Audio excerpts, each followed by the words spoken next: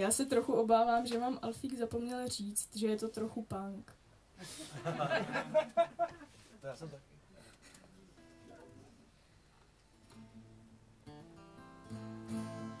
Ale počkej, já si trošku poladím.